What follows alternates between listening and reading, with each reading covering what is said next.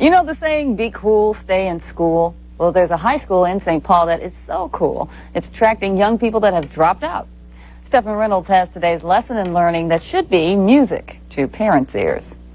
If I wasn't here, probably either be in the streets or getting kicked out of a regular school right about now.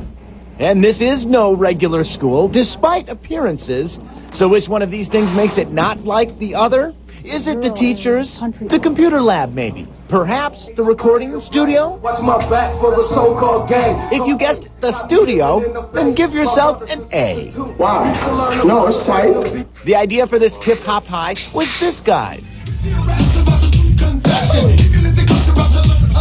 David Ellis has worked at Paisley, performed in a Prince movie.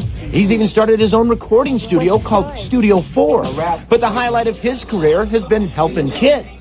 A lot of my customers were young people who were coming in. They wanted to do hip hop music. It ain't no joke. Riding on your back like running spokes. Now you show. I discovered that a lot of them hadn't graduated from high school. I realized that they were really motivated to get an education through something that really interests them.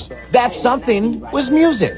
And so last December, David got an idea. Studio 4, High School for Recording Arts. But there's much more than recording arts, and you don't get in here until you get your work done here. Okay, what was the last one tonight? Do for yourself. Okay, so what do you, how do you interpret that? What do you think that means? A conventional curriculum for unconventional students. And it works. It works. And that's what's so exciting about the whole program is that the results are, you can see it daily because kids that usually wouldn't even be in school or motivated to do the academic side are motivated by the opportunity to work in that recording studio. Now, it isn't all just theoretical here at the High School for Recording Arts. They're actually putting out their own CD. The students have written, they've mixed, and they've sung on a CD that even has a message, and it's called HIV Ain't No Joke. Okay, guys, we're gonna um, come in on the chorus. You ready? The HIV ain't no joke. Creeping through your system, so you better be down.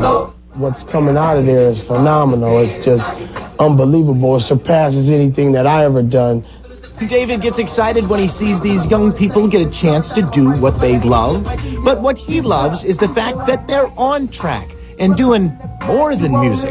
Point them in the right direction and have an effect to change their life forever is just a tremendous opportunity that I just can't pass up.